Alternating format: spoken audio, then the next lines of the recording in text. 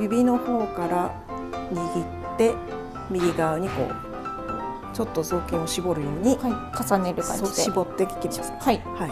ちょっとちょっと動かしていいですか？一二ってきたらこれがグって動かす。一二ギュって動かします。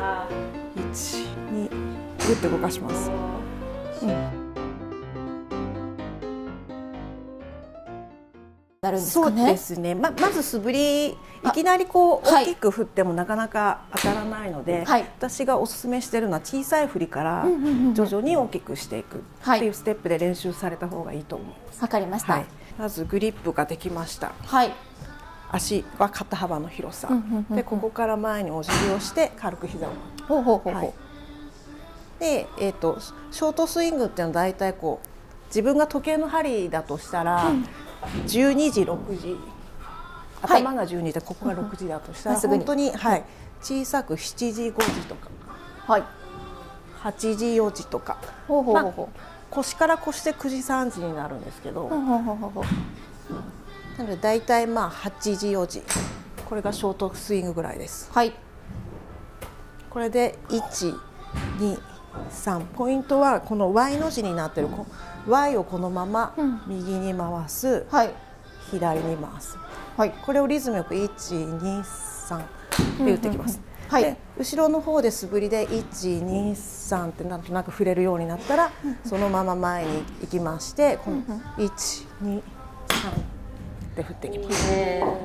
はい、これを繰り返していわかりました。きましょう。やってみます。ちゃんと持ってそうですね。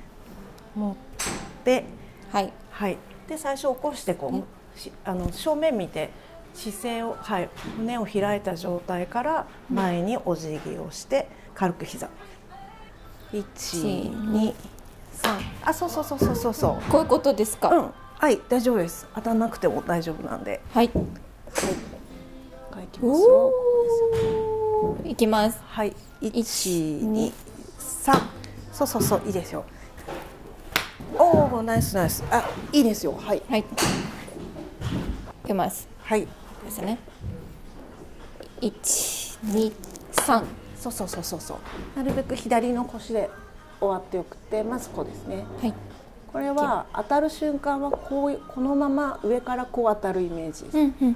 あのクラブはボールはこのクラブのこのロフトっていう傾きが上げてくれるので、はい。自分がこう上げるっていうようなこういう上に振る必要全然ないんですよ。はい。なんでむしろ上から下にこうやって当たっていくようなわかりました、はい。いきます。1あそうそうそうそう。いいですよいいですよ、はい。で芯に当たると軽くこう手に衝撃がなくこう飛んでいきますよね、はい。うん。逆に変なところに当たると手ビーンってなったりするんで、うんうんうん。なるべくあの軽く当たったなっていう感じをはい。増やして。わかりました。いきます。はい三あそうそうそうそういいですよ、うん、がここの上で素振りしますね。はいい一きます。二二三。三。そうそうそう。一二三。はいいいです。よはいじゃあもう一回いきます。はい。一二三。はいオッケーオッケーオッケー。まあせーの。一一二三。あそうナイスショット。今いい当たりですよね、うん、今いい当たり。これだ、きました。はい。いきます。一二三あオッケーいいですいいです。当たりますね。すごい。すごいですねこれ。できるようになってきた。いきます。はい。一二そうナイスなんかこう当たってるところがちゃんと芯を得てるなっていう感じがはしてます。いいい感じです。あすごい。つはい。そうそうでも調子乗ったらやばいんで。い きます。おおいいですね。おおじゃあだいぶ当たるようになったんで、はい。次に。お願いします。はい、はい、で、ね。はい、じゃあちょっとまずやります、おね、願いします。はい。で今だいたいこの腰のあたりまで来たんで、はい。こここからこっち後ろに引くのバックスイングって言うんですけど、うん。腰に来たらここからこうワイパーのように右肘と右手をこうやって折りたたむ動きが入ります。はい。ここでこうこういう感じそうすると一番高いトップの位置はい。に持ってくることがうんうん。こんな感じですね。こう来たら折りたたむ。これをクラブを持ってやるとここでこういう形にほーできるかなこれを、えー、とスムーズにナチュラルにはい。おおはい。12と。ほんほんほんほんほんほん12でここからダウンスイングに入るんですけど、あの手からスタートするんではなくて、はえー、と足とか下半身体幹を地面方向にグッと体重あをは重心をこう下げる感じで踏んでからあうん。下から順番に動いてくるんですね。はいはいはいはい。足、お腹、胴体、はい。腕、クラブって最後に降りてくる。うんうんうんうん一、二ここからグってきてから腰が回転してフォロースルーが出てフィニッシュっていう形になる。はい一二でさっきここまで来たので、うんここで右肘を折りたたんでここへトップですね。はい。ここが二のポジション。はいはい。で三で左足をグッと地面をグッと押して、はい腰がグッと回ってきてここでクラブヘッドが加速するので、うんそしたら今度左肘を畳む。畳む。はい。はい、畳んで足ができればこうぐるっと回って最後は、はい、こうめくれる。足の裏がこう見見る。はい。これがフィニッシュっていう。はい。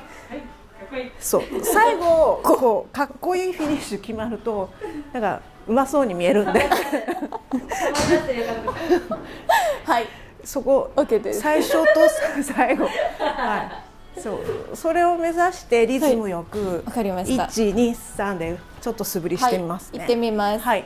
お願いします。音が音出るんですよはい。ちょっと聞いてもらっていいですか、はい。ここの音が1、2でビューって、でこの辺でボールがあるあたりではい。音がビューって出ると一番ベスわかりました。これどのぐらいの力力をどうしたらいいですか？ト腕腕ですか？はい。腕はあの大体こうグリップをマックスにグーって握るのが10だとしたら、はい。もう3とかあ4とか。軽めに持ってははいい、わかりました。で力の入れるのは足とかお腹とか。